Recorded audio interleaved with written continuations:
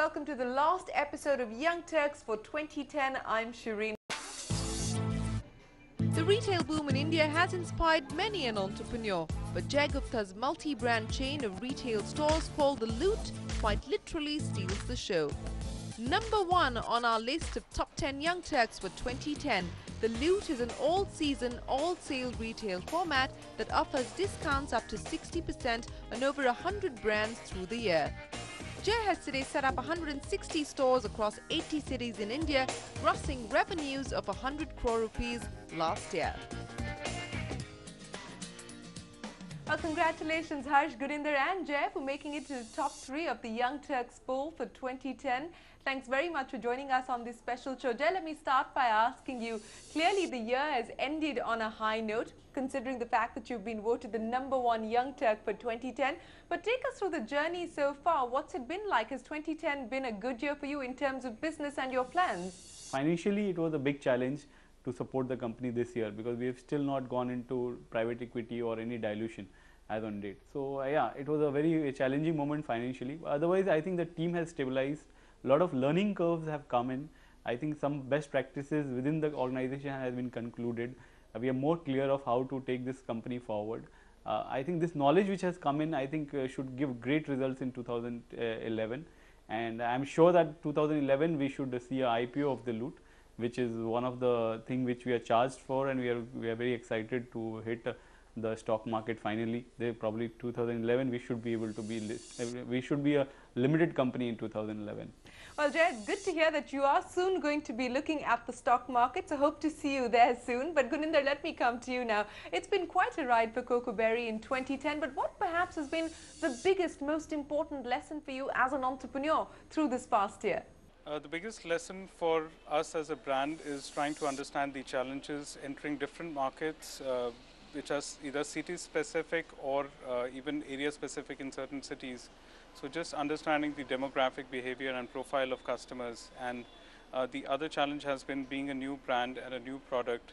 Uh, we have had to invest significantly in terms of customer education and uh, planning our media strategy based on that. So uh, we would look forward to over the next uh, year or so uh, innovating in terms of our communication with through our, to our customers through conventional as well as unconventional media and educate themselves, uh, the customers about the brand and also the product.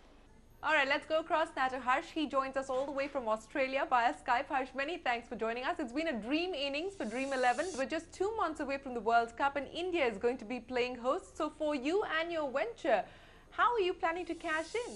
Well, the future plans for Dream11.com is obviously to make sure that the World Cup and IPL, which is happening from uh, Feb till April next uh, till May next year is a huge success for us, and we continue to exponentially add on to our six lakh registered users so far.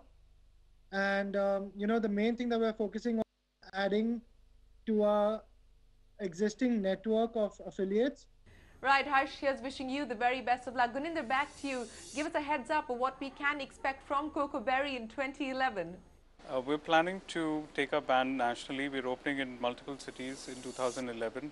Uh, we hope to have about 100 plus outlets by the end of 2011.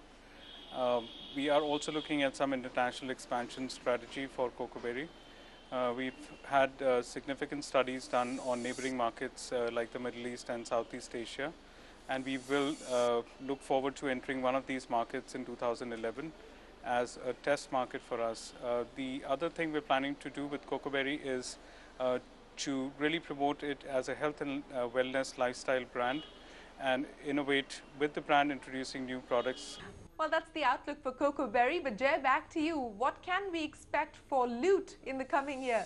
This year we'll be focusing on, uh, on a bigger size store, which we had not focused since last two years. Also from the top line point of view, we are looking at least at 140 crore this year. So I think that will bring a, a, good fund flow in the system. Also our bottom line is now becoming much healthier because more or less in retail, the first cost uh, to sustain the cost is uh, very difficult. So our cost has been frozen. Whether we manage now 150 stores or 300 stores, our cost is not going to change much as far as backend is concerned. So I think the if we are able to scale, our bottom line and top line both should uh, yeah, both the numbers should be very good. Well, gentlemen, congratulations to you and thank you very much for joining us and sharing your lessons and your insights with our viewers. On that note, it's time for us to wrap up this Young Turks special. Congratulations to our Young Turks Top 10 and thank you very much to our viewers for your overwhelming response to our poll. It's time for us to wish all of you a very Merry Christmas, a Happy New Year. Remember, we're now available on Facebook, so do log on to our Facebook page and join the Young Turks community. We'll see you with a spanking series of Young Turks in 2011. Till then, from the team, goodbye. Thanks for watching.